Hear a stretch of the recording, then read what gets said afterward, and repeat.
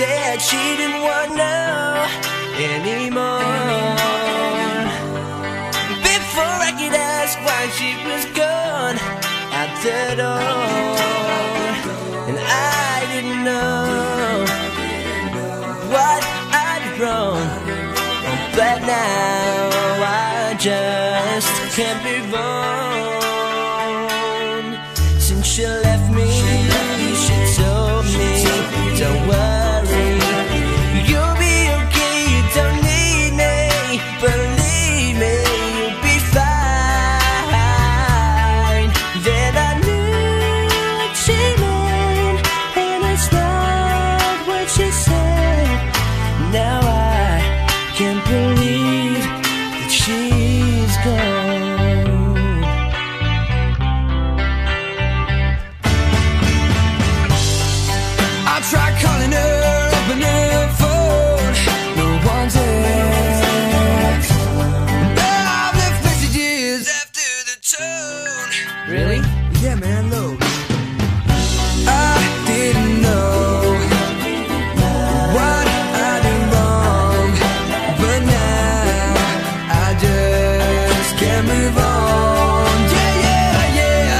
Since she left me, she told me, don't worry, you'll be okay. You don't need me, believe me, you'll be fine.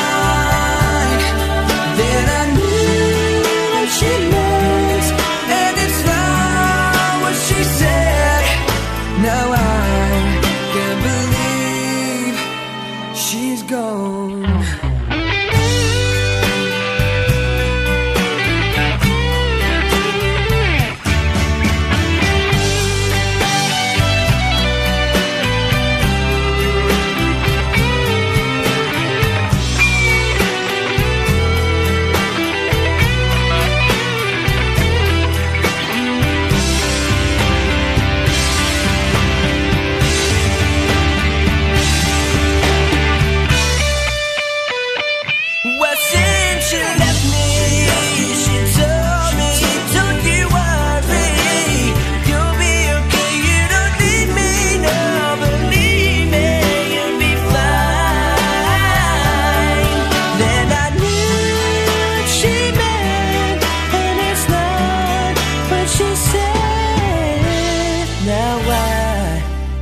Can't believe that she's gone.